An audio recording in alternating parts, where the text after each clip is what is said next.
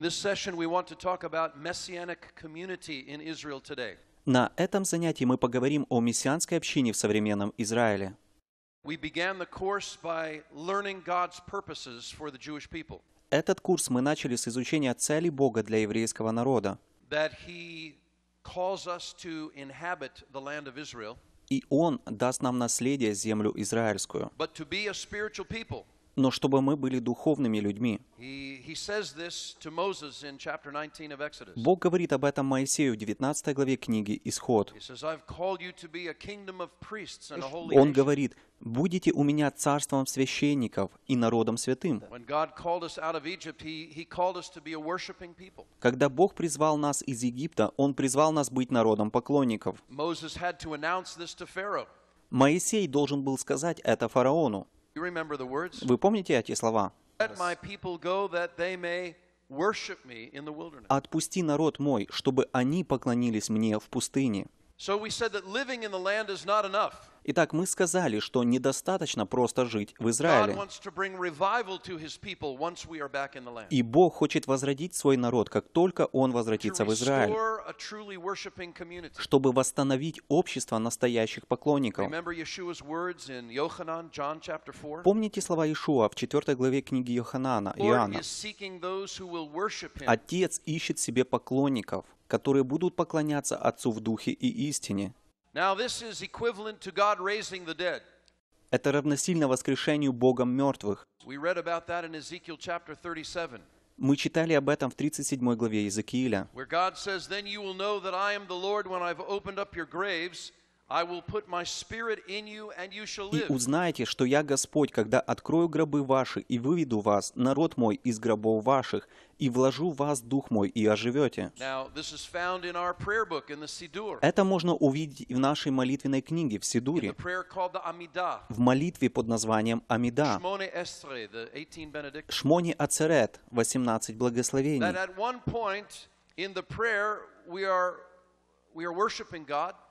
В молитве мы поклоняемся Богу.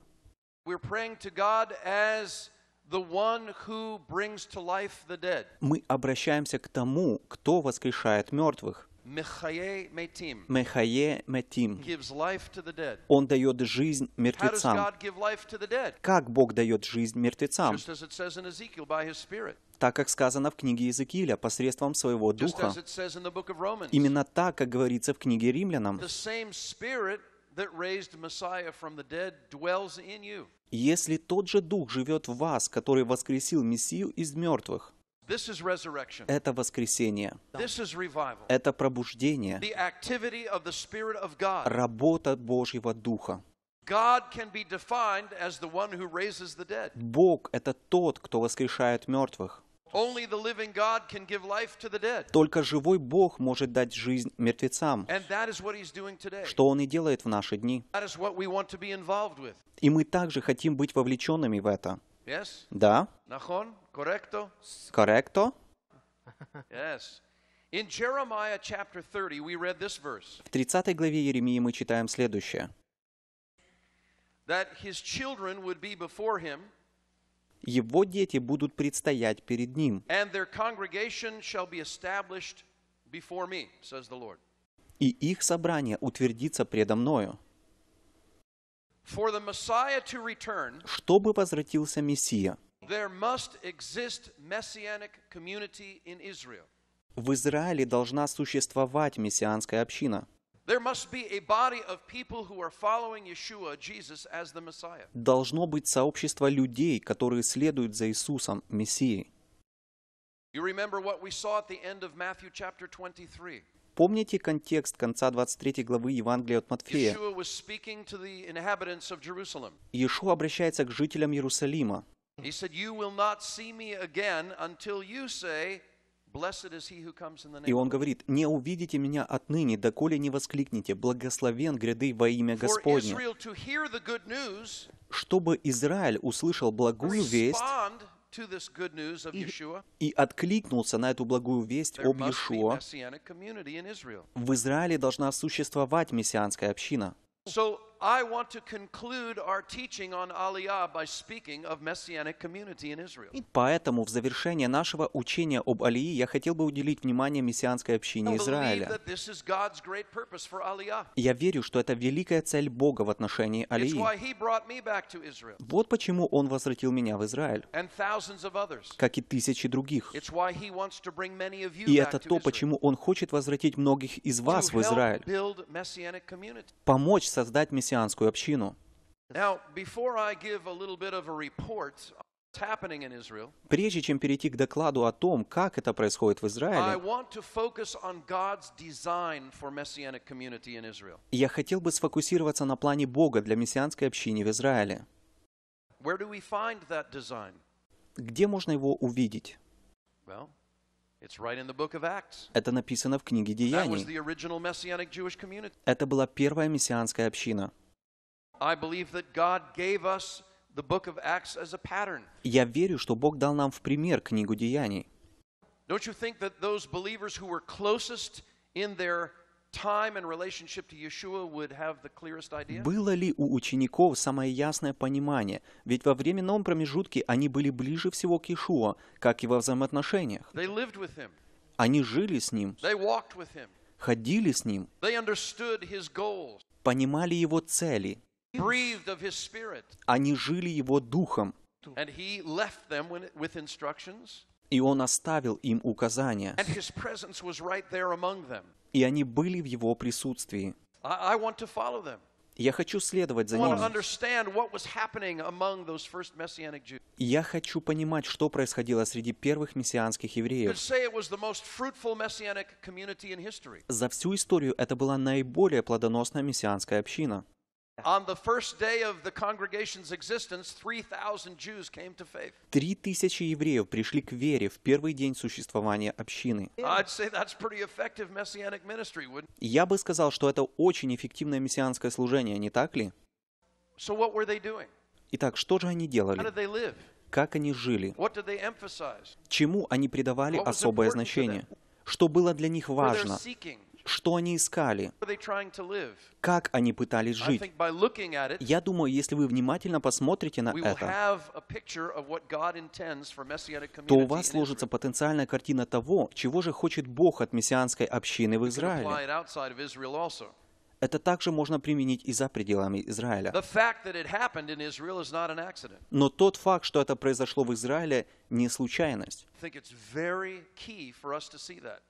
Это ключевой момент. Это мессианская община Израиля, как и предназначил Бог. Я нашел пять основных качеств первой мессианской общины. Уверен, что вы сможете найти еще больше. Мы пересчитаем их на пальцах руки. У нас пять пальцев на руке. Думаю, этого достаточно. Не знаю, что бы я делал с шестью пальцами на руке. Это было бы слишком много. Этому пункту я дам другое имя. Поэтому, если вы конспектируете, То можете обозначить его под номером один. point in this last section. Первый пункт последнего раздела. Я хочу назвать его «Единодушие». Это план Бога для мессианской общины в Израиле. Поэтому откройте вместе со мной книгу Деяний, где мы увидим этот замысел. И мы рассмотрим эти пункты.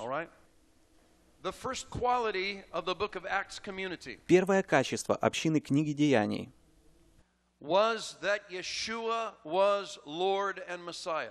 Иешуа был Господом и Мессией. Фокус был на нем. В первом послании Петра, in Acts chapter 2, во второй главе Деяний, from verses 14 to 36, с 14 по 36 стихи. Петр снова и снова говорит об Иешуа. начинает свою проповедь с упоминания пророка Иоиля, потому что это был первый вопрос. Почему эти люди так странно себя ведут? But then in verse 22, Но затем в 22 стихе he says, Men of Israel, hear these words «Мужи израильские, выслушайте эти слова. Yeshua of Nazareth, Иешуа Назарея, a man attested by God to you by miracles, wonders, and signs which God did through him мужа, засвидетельствованного вам от Бога силами и чудесами и знамениями, которые Бог сотворил через него среди вас. Him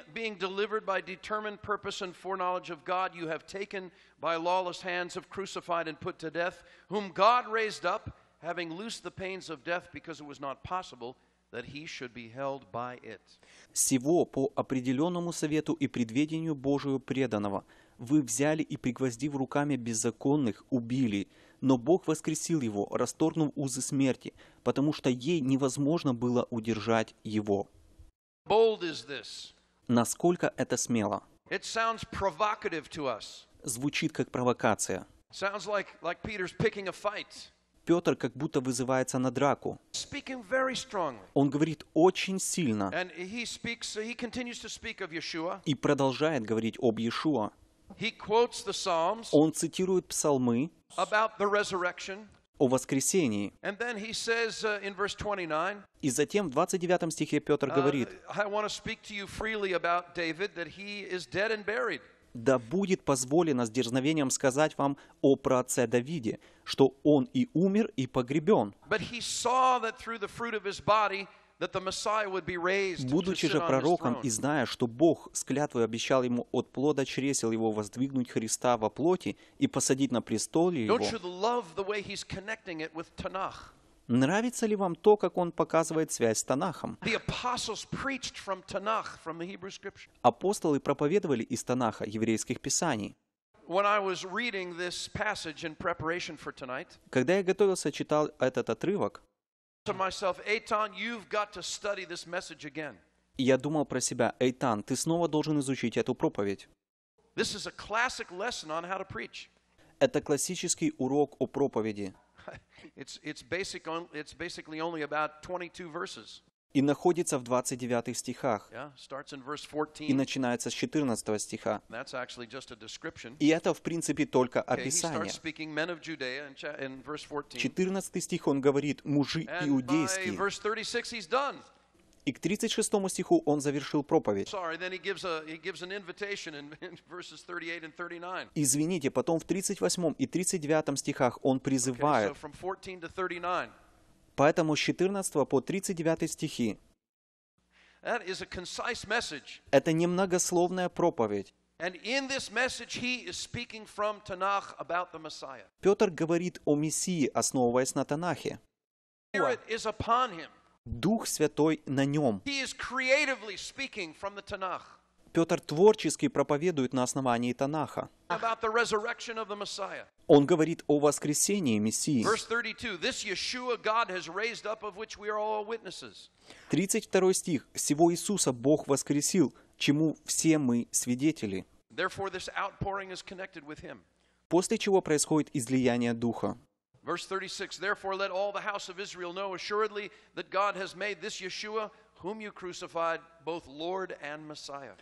36 стих. «Итак твердо знай весь дом Израилев, что Бог сделал Господом и Христом всего Иисуса, которого вы распяли».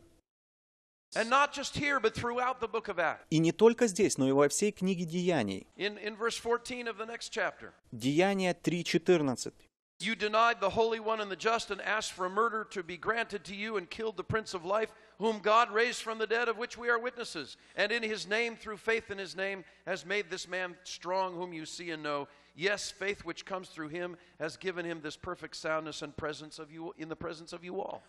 Но вы от святого и праведного отреклись и просили даровать вам человека-убийцу, а начальника жизни убили. Сего Бог воскресил из мертвых, чему мы свидетели, и ради веры во имя Его, имя Его укрепило сего, которого вы видите и знаете, и вера, которая от Него, даровала Ему исцеление сие перед всеми вами.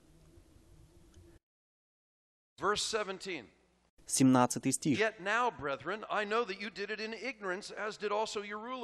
Впрочем, я знаю, братья, что вы, как и начальники ваши, сделали это по неведению. But those things which God foretold by the mouth of all his prophets, that the Messiah would suffer, he has thus fulfilled.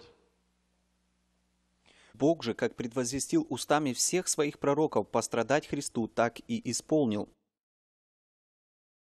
And we could continue on and on. This is beautiful. Мы можем перечислять дальше и дальше. Это красиво. Verse 26 at the end of chapter 3. 26 стих в конце 23 Who главы.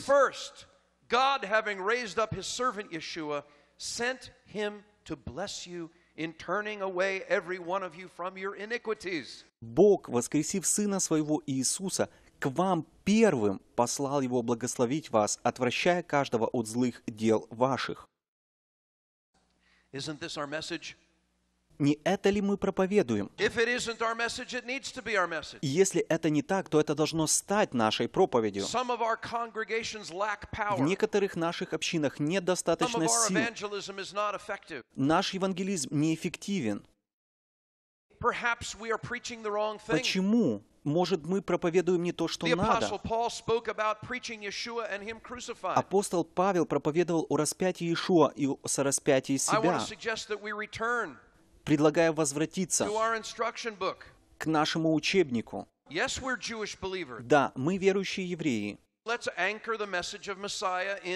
Да, так давайте же укореним послание о Мессии в еврейских писаниях. Но Мессия должен занимать центральное положение. Возлюбленные,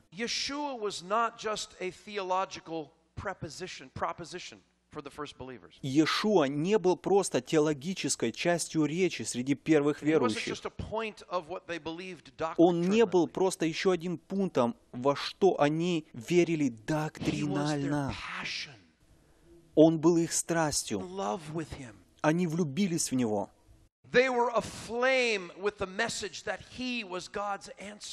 Они горели огнем с вестью о том, что Он был ответом Бога. Они смотрели на Него как на жениха, как на своего возлюбленного. Нам нужна такая апостольская любовь к Иешуа. Для апостолов все начиналось с Него. А как насчет нас?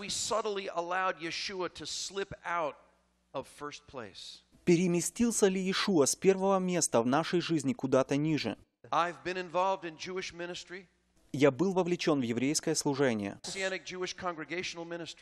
в служение мессианских еврейских общин. more than 25 years. Уже более 25 лет я знаю наше движение. И иногда это становится тенденцией. Давайте не позволим этому случиться. Давайте проверим себя в свете апостольских стандартов. Бог призывает нас обратно в апостольский мессианский иудаизм. Возлюбленные – это пример. И если мы следуем ему, то увидим такой же плод, какой описан в книге Деяний. Также будет больше гонений, но мы не будем убегать от них. The second of these qualities Второе качество of the first messianic community in Israel первой мессианской общины в Израиле was that their faith was rooted in Torah. – укоренение их веры в Торе. We see that the, И мы видим рождение общины в день Шавуот. Бог избрал этот праздник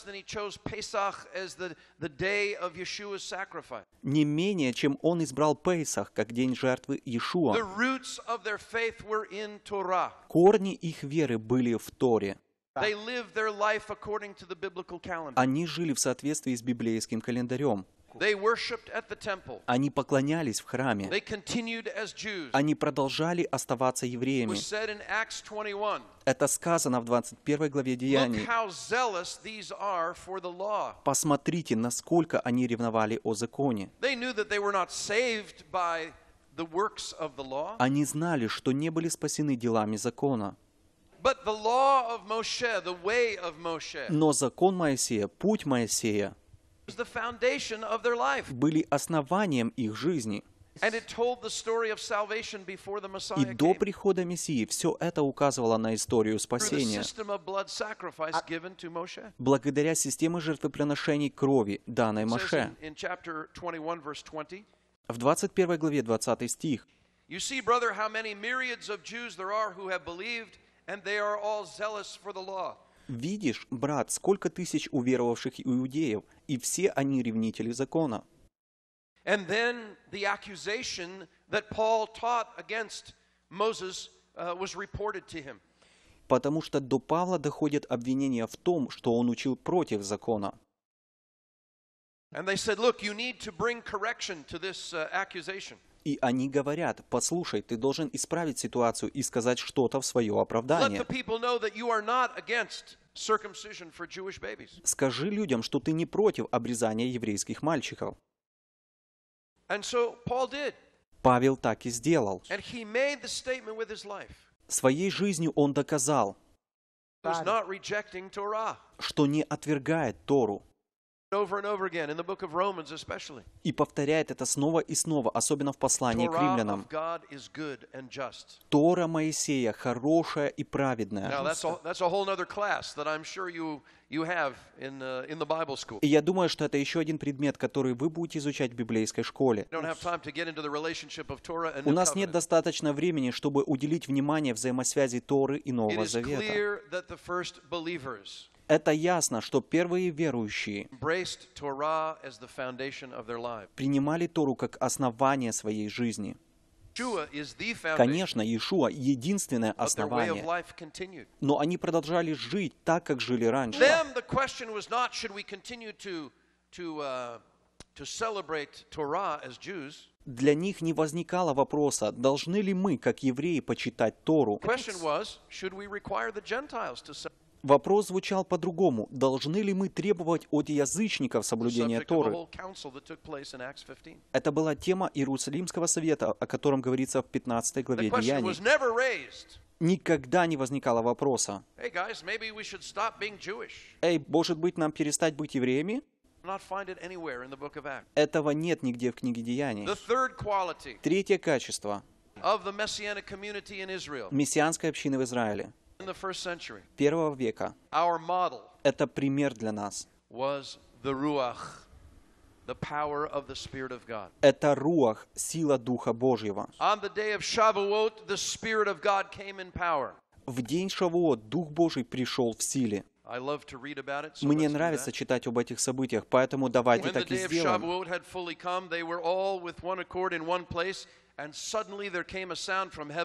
As of a rushing mighty wind, and it filled the whole house where they were sitting.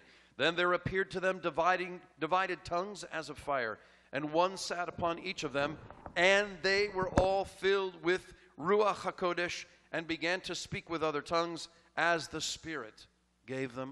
При наступлении Дня Пятидесятницы все они были единодушно вместе, и внезапно сделался шум с неба, как бы от несущегося сильного ветра, и наполнил весь дом, где они находились, и явились им разделяющие языки, как бы огненные, и почили по одному на каждом из них, и исполнили все Духа Святого, и начали говорить на иных языках, как Дух давал им провещевать. Иешуа сказал им ожидать. This was the promise of the Father. Это было обетование Отца. This was the equipment Yeshua spoke of in the first chapter of the book of Acts. Та сила, о которой Иешуа говорил в первой главе книги You Деяний. remember? Помните? Uh, he said, You shall receive power Он сказал, но вы примете силу, когда сойдет на вас Дух Святый, и будете мне свидетелями в Иерусалиме, и во всей Иудее, и Самарии, и даже до края земли. Это наше призвание. Мы не можем исполнить это без силы Руах. And they continued to do signs and wonders. И они продолжали совершать знамения и Those чудеса. miracles did not stop with the life of Yeshua. После смерти Иешуа эти чудеса не He прекратились. had commissioned them, had he not? Иешуа оставил им поручение, не так Tell ли? Что он сказал им?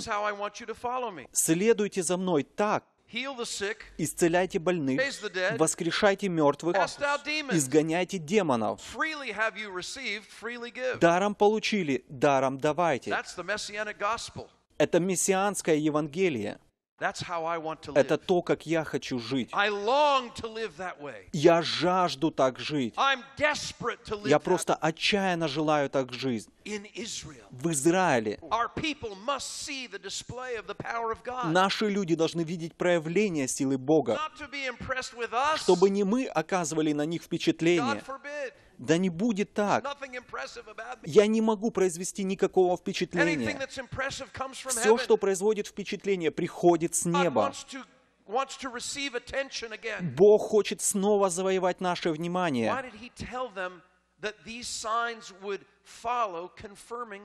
Почему Он сказал им, что эти знамения будут подтверждать Евангелие? Потому что это стержень. Чудеса — это доказательство того, что наши слова — это правда. Поэтому они исцелили больного у ворот. Тень Петра падала на людей, и они исцелялись. In other situations, sinners dropped dead. В других ситуациях грешники падали замертво. Это также была сила Бога. И мы можем перечислять пример за примером из книги Деяний. Деяний Духа Святого.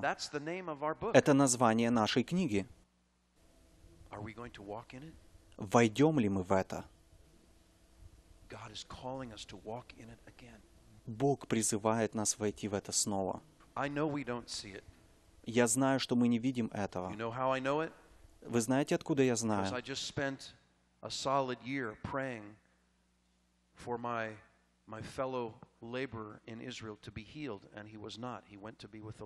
Потому что в течение последнего года я молился в Израиле за исцеление моего коллеги, и он не был исцелен, и отошел к Господу. Наш возлюбленный собрат, лидер Гамалиил Ашар. Мы молились и постились, провозглашали Божью работу. Он не был исцелен. Но Бог не хочет, чтобы мы расстраивались.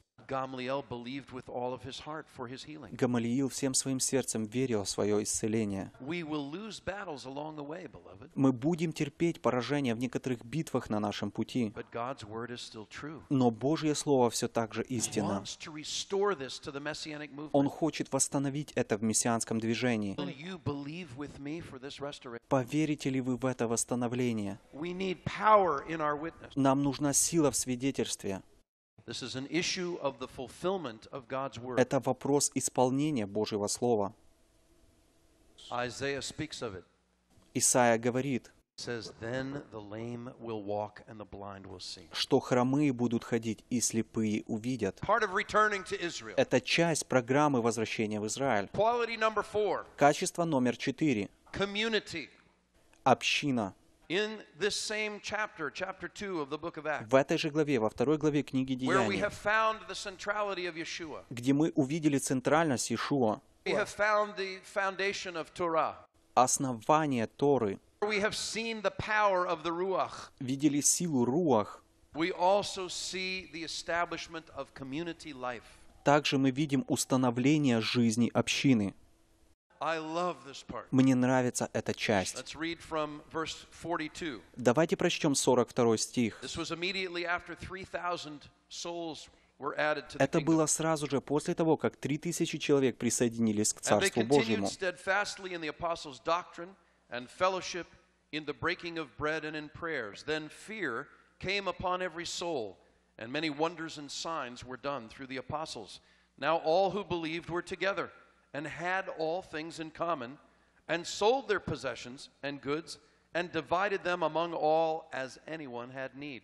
И они постоянно пребывали в учении апостолов, в общении и преломлении хлеба и в молитвах. Был же страх на всякой душе, и много чудес и знамений совершалось через апостолов в Иерусалиме. Все же верующие были вместе и имели все общее, и продавали имения и всякую собственность, и разделяли всем, смотря по нужде каждого.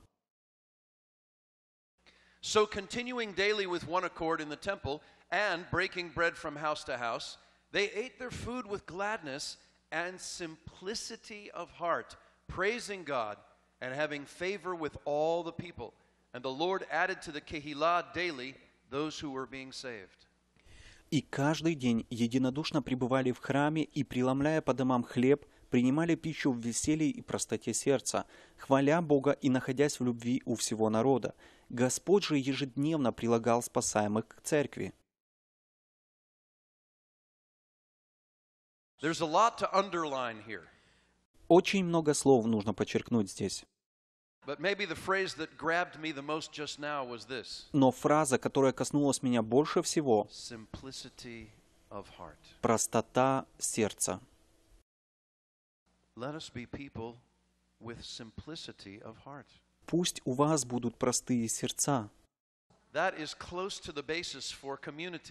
Это основание общины. Не завидовать друг другу,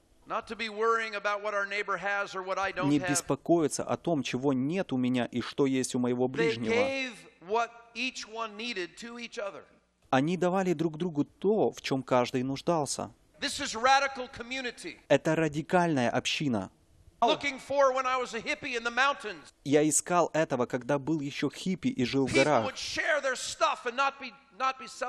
Люди делились своими вещами и не были эгоистами. Люди на самом деле жили вместе. На самом деле любили друг друга. На самом деле помогали друг другу. И делились друг с другом вещами этого мира, этой планеты. Это было частью их силы. Они не удерживали это у себя. You know, modern Western industrial life has become very private. Современная западная индустриальная жизнь стала очень индивидуалистической. Не все в ней хорошо. В ней есть что-то очень хорошее, что-то совершенствуется. Некоторые возможности медицины, некоторые аспекты в технологиях, коммуникации, компьютеры, все это замечательно.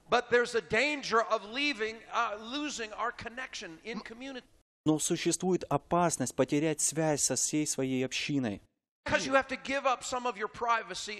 Потому что вам придется пожертвовать чем-то приватным, чтобы отдать часть своей жизни общине.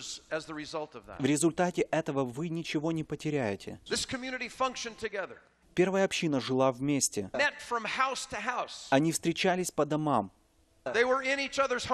Посещали дома друг друга. Это образ жизни мессианских евреев. Они молились, вникали в учение апостолов. Они говорили о своей вере. Они постигали жизнь вместе. Бог хочет, чтобы такая жизнь была как в Израиле, так и за его пределами. Знаете, во что я верю? Я верю в отношении нашего еврейского мессианского движения. Бог призывает нас на новый уровень, в новое место. Я верю, что Он зовет нас вверх. Он зовет нас обратно в эту реальность. Мы не должны гордиться. Oh, Мы не должны думать, посмотрите, какие мы особенные. Мы должны снова узнать о еврейских корнях Нового Завета.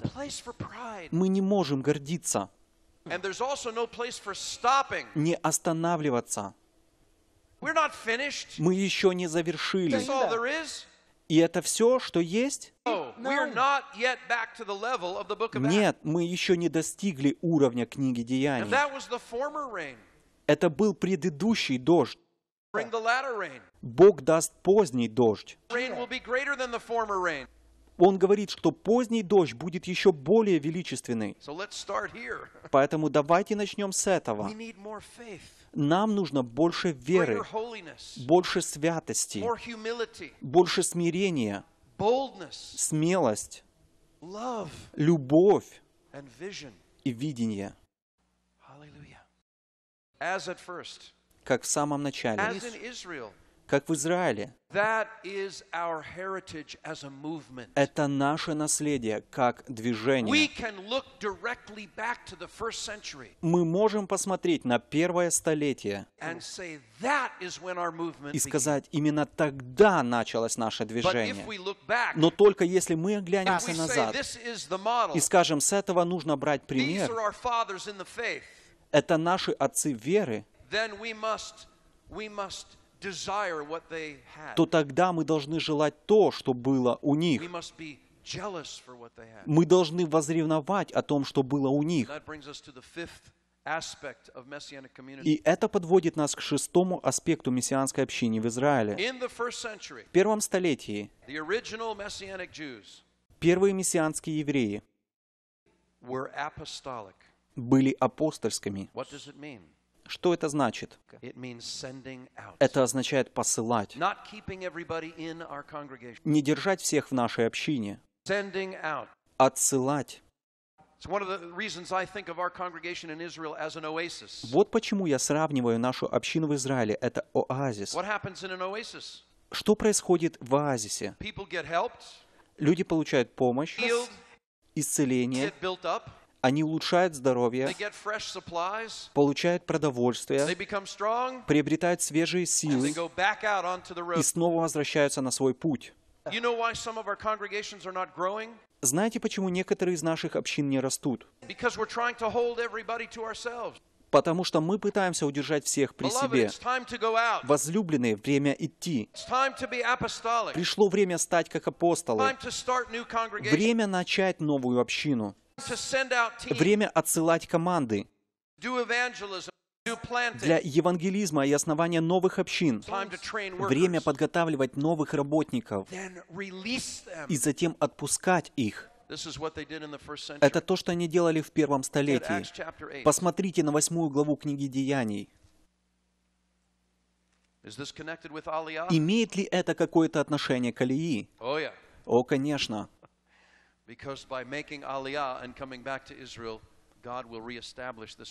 Потому что, совершая Алию и возвращаясь в Израиль, Бог восстановит эту I реальность. я чувствую, что должен сказать вам нечто. because I live in Israel, Не из-за того, что я живу в Израиле, but because it's true. но потому что это правда.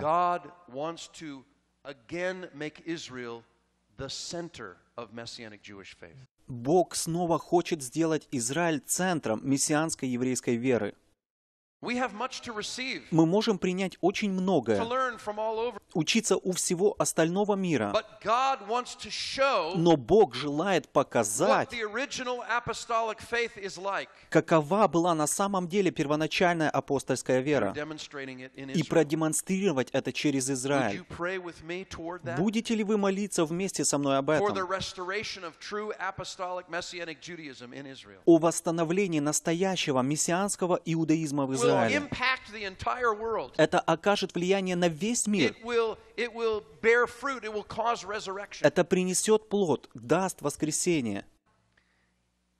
Chapter 8, Глава 8 book of Acts. книги Деяний. At that time, a great persecution arose against the Kehillah, the congregation which was at Jerusalem. В те дни произошло великое гонение на церковь в Иерусалиме. And they were all scattered through the regions of Judea and Samaria except the apostles. И все, кроме апостолов, рассеялись по разным местам Иудеи и Самарии. Verse 4 Четвертый стих. Therefore, those who were scattered went everywhere preaching the word. Между тем рассеявшиеся ходили и благовествовали Слово. Они пошли везде, проповедуя Слово. Господь, снова дай нам такую же смелость. Сделай нас такими же бесстрашными, как и апостолов. Сделай так, чтобы мы были так же сфокусированы и продолжали проповедовать, как и апостолы. in chapter 13, Затем в 13 главе они собрались вместе в Антиохии. Пророки и учителя. Now separate to me Barnabas and Shaul for the work to which I have called them. Then, having fasted and prayed and laid hands on them, they sent them away. Когда они служили Господу и постились, Дух Святой сказал, «Отделите мне Варнаву и Савла на дело, к которому я призвал их». Тогда они, совершив пост и молитву и возложив на них руки, отпустили их. Когда мы находим талантливого человека and mature in our и зрелого человека в нашем обществе, do we send them away? мы отсылаем его oh, oh, или говорим, «О, нет, теперь ты будешь помогать мне». I'm not speaking against forming team ministry. Я не против формирования команд служения. Я очень верю сильно в командное служение. But that team ministry is for the purpose of reproducing. Но это командное служение ориентировано на воспроизведение. May I give you a personal example? Хочу рассказать вам один пример. In, in our congregation, В нашей общине Бог дал мне помощника, духовного сына. Он родом из Белоруссии, бывшего Советского Союза. И он работал со мной, помогал вести общину. Такой удивительный помощник. Конечно, он свободно говорит по-русски, но также и на иврите. И он принимал все, что я давал ему. Он начал вести общину вместе со мной. Это сняло с меня такой груз. Но вы знаете, если вы начинаете общину, то папа должен делать все. Этот молодой человек становился более зрелым, возрастал, брал ответственность в определенных сферах служения. Мы работали вместе, как и несколько других парней. Однажды он подошел ко мне и сказал, «Эйтан, как насчет Хайфы? А наша община находится с северной стороны Хайфы, в местности, которая называется Крайот. Uh. Имя этого молодого человека Леон. Uh. Он говорит, «Я думаю, что мы должны начать общину в Хайфе.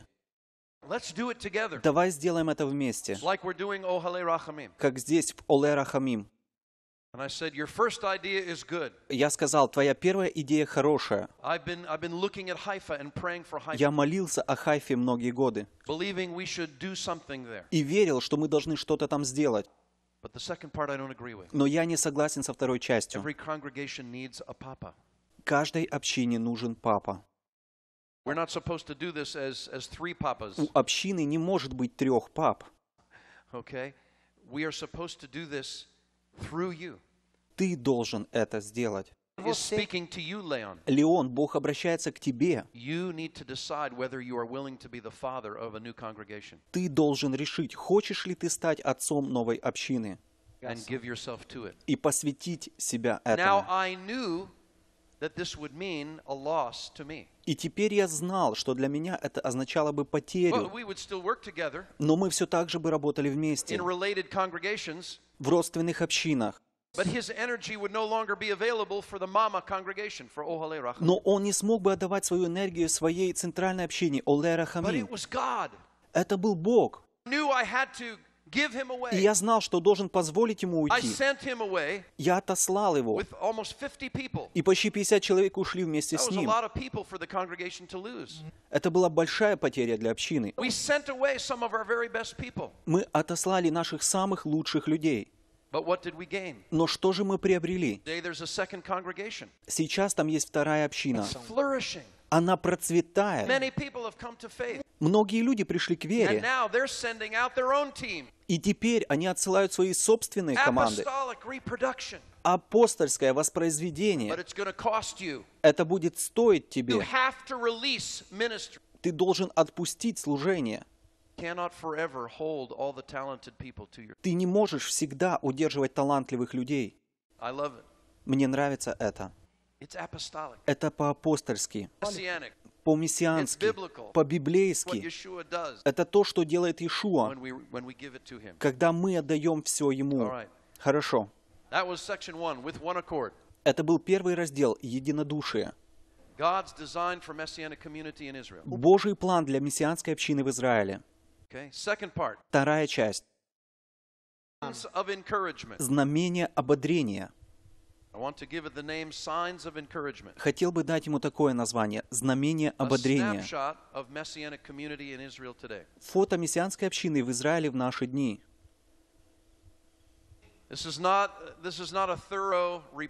Это не подробный план. Люди пишут об этом книги, делают исследования, посещают общины. Это просто короткий обзор. Вот что я вижу. Wants to encourage you through through what's happening. Бог хочет ободрить вас через события. Messianic community has been and is being reestablished in Israel. Мессианская община была восстановлена и до сих пор восстанавливается в Израиле. Sabras are coming to faith. Сабры приходят к вере. Israelis Коренные жители Израиля в таком большом количестве, как никогда раньше. И общины созидаются таким образом. Одна община, в частности в области Тель-Авива, uh, в которой приблизительно 200-300 человек, многие из которых коренные израильтяне. Российские иммигранты в большом количестве приходят к вере, helping swell the number of believers in the country to maybe close to 10,000. благодаря чему количество верующих в стране возросло примерно до уровня Now, 10 that's not тысяч. Это немного по сравнению с общим населением Израиля в 5,5 миллионов человек. Но это много по сравнению с тем, что было раньше. Может быть, 25 лет назад, 30 years ago, 30 лет назад there were only probably less than five congregations in the whole country, во всей стране было менее пяти общин, less than 500 believers. менее 500 In верующих. those days, you could know every believer personally by his first name. В те дни вы могли лично знать каждого верующего по имени. Теперь это невозможно. Недавно на одном собрании было более 500 человек. uh, uh, Собралось вместе где-то 8 или 10 общин возле Кенерета, моря Галилейского. Мы хорошо провели время. Congregations from all over, Там были общины отовсюду. uh, Проповедь на иврите и прославление Бога. Они погружают новообращенных в Галилейском море. Это замечательно. Это знамение ободрения. Эфиопские верующие в стране, например, мой зять, их число растет. И молодые эфиопские евреи заинтересовываются в Иешуа и вовлекаются в общины. Бог действует среди них. There are also many believing youth in the country. Также в стране очень много верующей молодежи.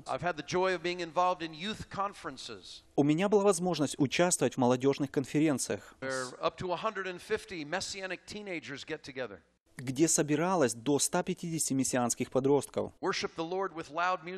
Поклонялись Богу посредством громкой музыки и игр из Божьего Слова. Молитесь о пробуждении среди молодежи Израиля. These young people are going on into the army. Эти молодые люди идут служить в There are армию. many believing soldiers today, И Есть очень много верующих солдат в наши дни. perhaps 80 to 100, Наверное, 80 или 100 процентов. and they're praying together with each other. Они молятся друг о друге. And God is opening the way for them to share their faith. Бог дает им возможность делиться своей верой. Army life is very close. Жизнь в армии очень тесна. Вы находитесь на грани жизни и You смерти. need to depend on each other. Вы должны зависеть друг от друга. Many of the messianic soldiers are becoming commanders and officers. Многие мессианские верующие становятся военно-командующими в офисах. One high ranking officer said this to a messianic father Один офицер высшего ранга сказал следующее мессианскому отцу. He said, You people, meaning the, the Messianic Jews, make very good soldiers.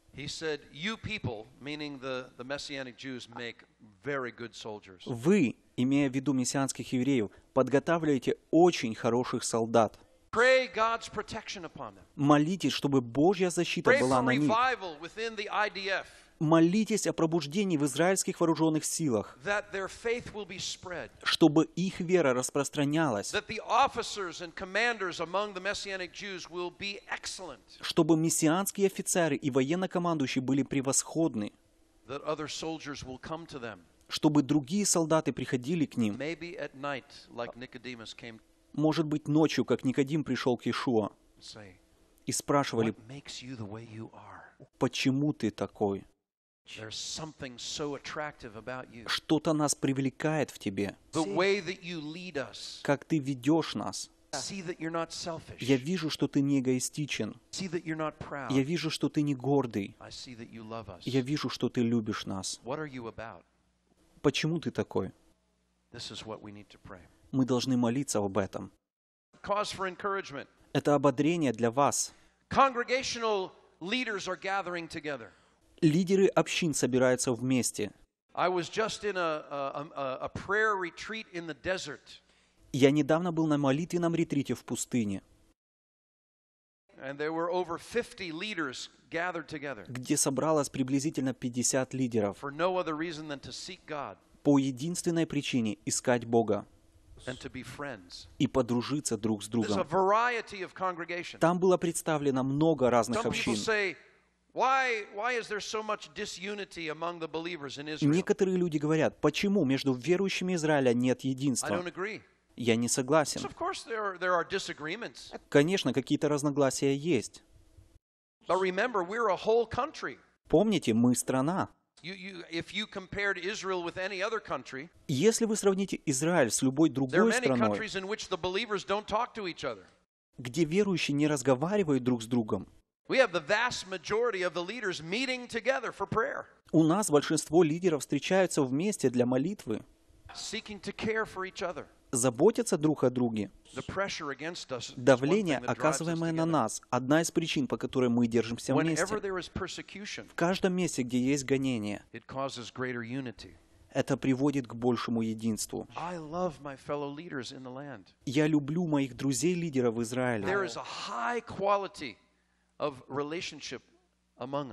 Между нами существуют взаимоотношения высшего уровня, и эти взаимоотношения развиваются. Также молитесь об этом. Это ободрение для вас. Верующие арабы и евреи встречаются вместе. Это прорыв. Это свидетельство для всей страны. Проходят детские лагеря. Общины приобретают здания. Начинаются библейские школы. My son David is going to be involved with one near Jerusalem. Мой сын Давид будет учиться в одной из таких школ в Иерусалиме. Их цель – подготавливать новых лидеров, чтобы подготовить настоящих учеников. Это знамение ободрения. Издаются книги и печатаются трактаты. И намного больше общин необходимо насадить. И укрепить уже существующие общины. Для вас есть много работы. Для вас, новых иммигрантов. А те из вас, кто знает Господа и знает, что Он делает, это необычайное время. Бог делает прорыв в Израиле. This is what we need to be involved with. Мы должны быть вовлечены в это. Наступит импульсный толчок. Будет жатва. Должно быть излияние позднего дождя. Пожалуйста, молитесь с нами. Верьте с нами. Бог говорит, что это произойдет. Итак, когда вы приезжаете в Израиль, как Оле или Ола, Как я уже убедительно настаивал, вам нужно найти общину. Найдите мессианских лидеров, за которыми вы могли бы следовать и с которыми могли бы сотрудничать. Найдите общину, через которую вы могли бы выражать свою веру. Что же вам следует и чего не следует делать? Что делать, а что не стоит делать? Возьмите свои ручки. Я хочу, чтобы вы помнили это. И когда вы приедете в Израиль, то лидеры общины будут очень рады, что вы слышали это. Люди в вашей общине еще больше оценят вас. Давайте начнем с того, чего не стоит делать.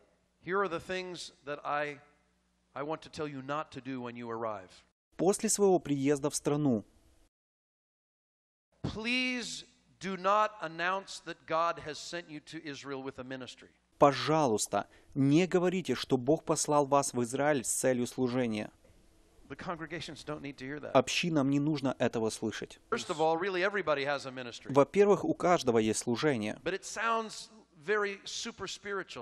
и ваши слова будут звучать слишком сверхдуховно.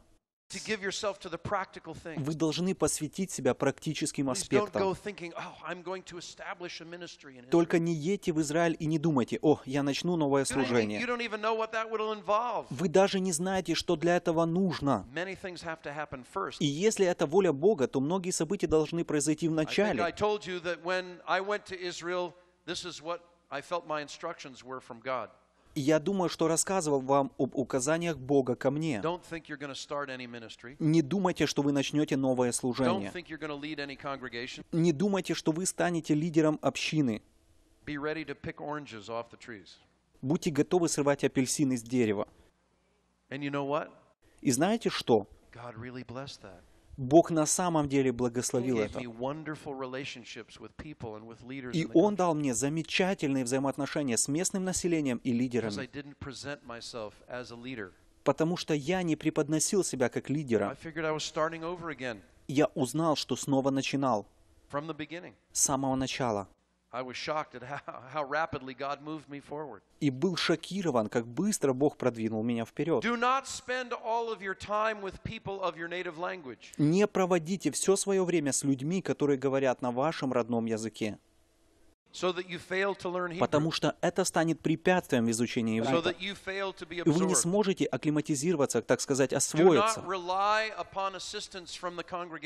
Не полагайтесь на помощь общины и финансовую поддержку от правительства, instead of getting a job. не ища работу.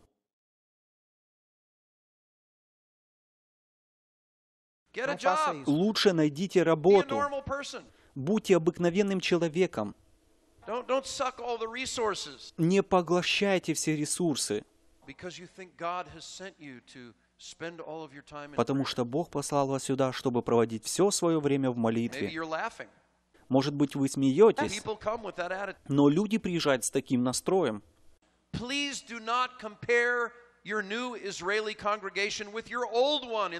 Пожалуйста, не сравнивайте вашу новую мессианскую общину с вашей бывшей общиной. It will never be the same. Они не могут быть There are одинаковыми. no two congregations exactly the same. Во всем мире нет двух похожих общин. So forget it. Поэтому забудьте это. You need to find a new congregation Вы должны найти новую общину. Конечно, вы будете вспоминать то, что дорого для вас, you will not find one exactly the same. но никогда не найдете идентичного. And you will disappoint yourself И вы разочаруетесь and make life very hard for your new leaders и усложните жизнь вашим новым лидерам и другим людям в общине. Oh, but where I came from, they did it this way. Если вы скажете, о, где я был раньше, они делали это абсолютно по-другому. Honestly, I hate it when people tell me. Честно говоря, я ненавижу, когда люди говорят мне это. Можно вносить конструктивные предложения, "Oh, in my congregation." но не говорить постоянно «О, в моей общине». Иногда я хочу сказать «Подожди минутку, теперь это твоя община? Ты вообще-то уехал из той общины?» Uh, uh. Это немного похоже на события книги «Бытие», a man and a, and a woman are to leave their mother and father and to cling to each other. Мужчина и женщина должны оставить своих родителей и прилепиться друг к другу.